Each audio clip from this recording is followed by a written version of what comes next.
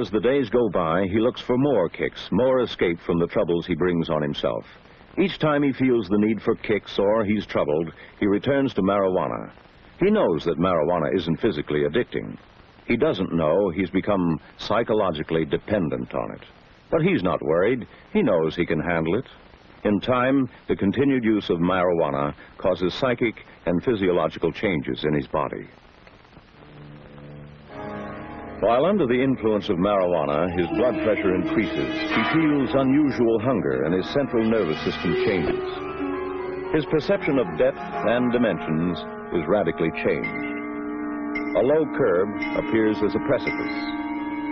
With a distortion of sight and sound, time is suspended. Fast action appears slow. The whole world is distorted.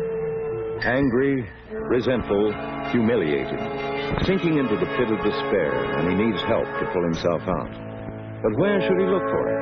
Whom should he ask? The coach won't give him a break. The teacher? Ah, he's already failed him, so why keep on with studies? His parents? They don't understand anything.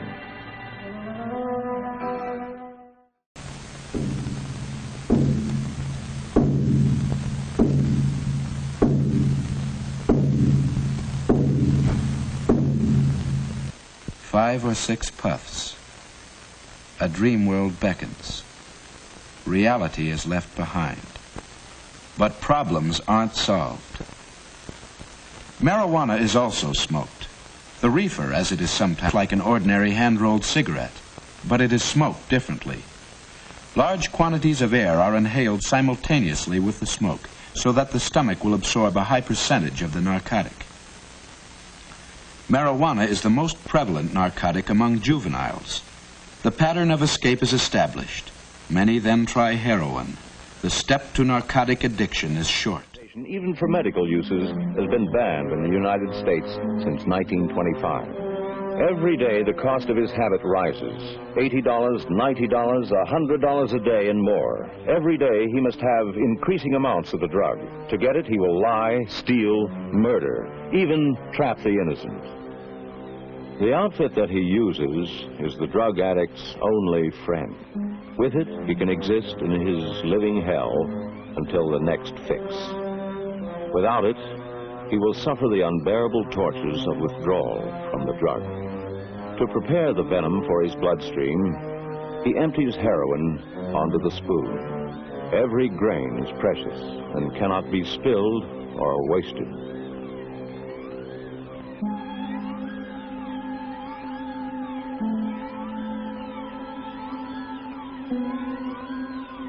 A few drops of water are added to make a solution.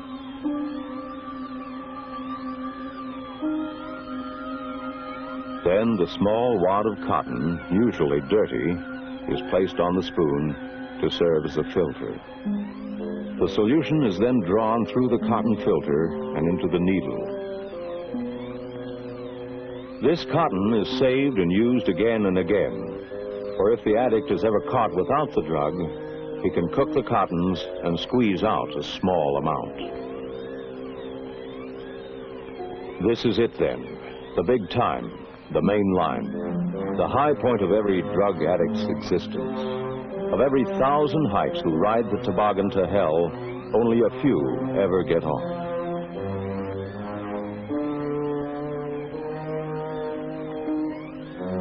Of course, Pete is careful not to let John see the actual needle pop.